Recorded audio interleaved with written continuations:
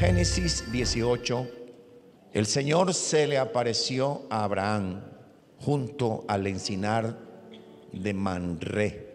Cuando Abraham estaba sentado a la entrada de su carpa a la hora más calurosa del día, Abraham alzó la vista y vio a tres hombres de pie cerca de él. Al verlos, corrió desde la entrada de la carpa a saludarlos, inclinándose hasta el suelo y dijo, mi Señor, si este servidor suyo cuenta con su favor, le ruego que no pase de largo, haré que les traiga un poco de agua para que ustedes se laven los pies y luego podrán descansar bajo el árbol. Ya que han pasado por donde está su servidor, déjenme traerles algo de comer para que se sientan mejor antes de seguir su camino. Está bien, respondieron ellos, hazlo así. La palabra, le he puesto este nombre, el Espíritu Santo y el servicio a Dios. Lo primero que te quiero dejar es esto. Hay bendición para los que le sirven al Señor. Como Abraham tenía corazón de siervo, por eso llegaron a la casa de él los tres visitantes. Si no hubiera tenido corazón de siervo, no hubieran llegado. Porque el que sirve atrae lo de Dios.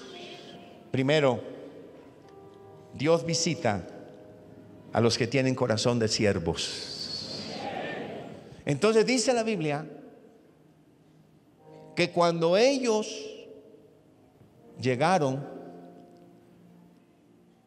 no llegaron a cualquier lugar, no llegaron a cualquier casa, aunque eran tiendas.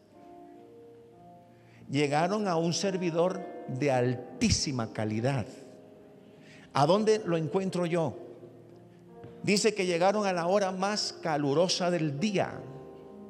Estamos hablando de un hombre de edad avanzada que no está para recibir visitas y mucho menos a la una de la tarde, cuando lo que tiene es calor y lo que necesita es que lo, que lo vengan a ayudar. Así que él está con todas esas cosas y ahora vienen unos tres visitantes ¿Por qué llegaron a la casa de Abraham? Porque era un siervo, pero diferente.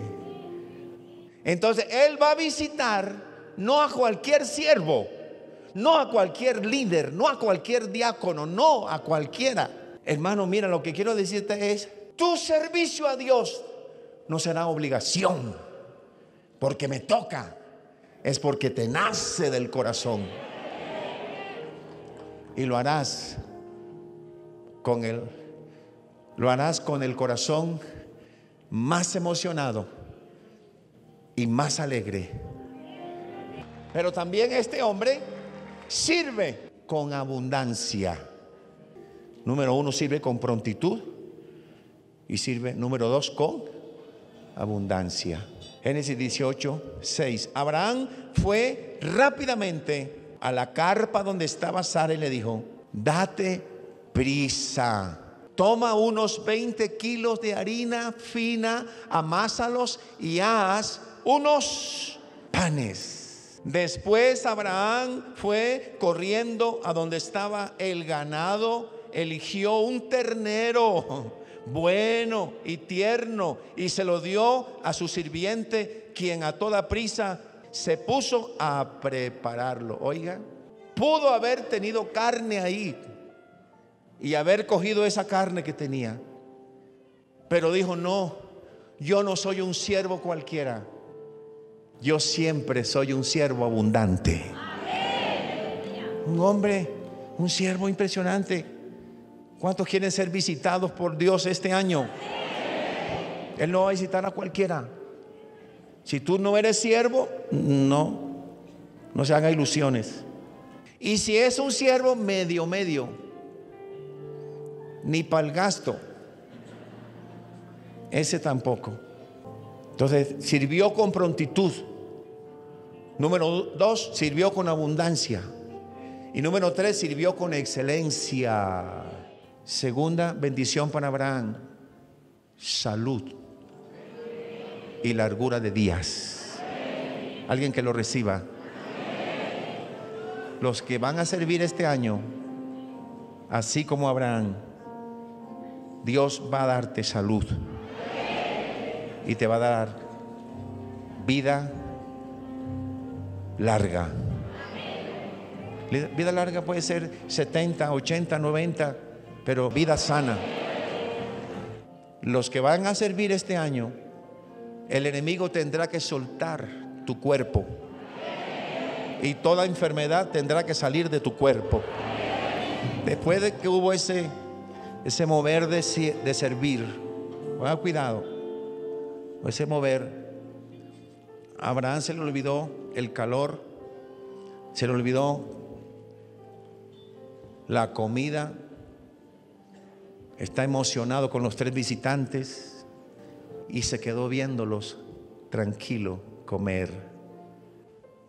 Porque el que sirve así tiene una gran satisfacción. Y se quedó así tranquilo, tranquilo, sereno como las tardes, cuando va cayendo el sol. Y un ángel lo miró, versículo 14, y le dijo el ángel, Abraham, ¿acaso hay algo imposible para el Señor? El año que viene volveré a visitarte en esta fecha y para entonces Sara habrá tenido un hijo. Los que sirven con esa dimensión, número uno, van a ser visitados por Dios. Número dos, tendrán buena salud y vida larga. Y número tres, tendrán de repente de Dios. Este de repente fue un hijo que no se podía tener. Pero los que sirven así con ese nivel, aunque no sea el tiempo, se podrá.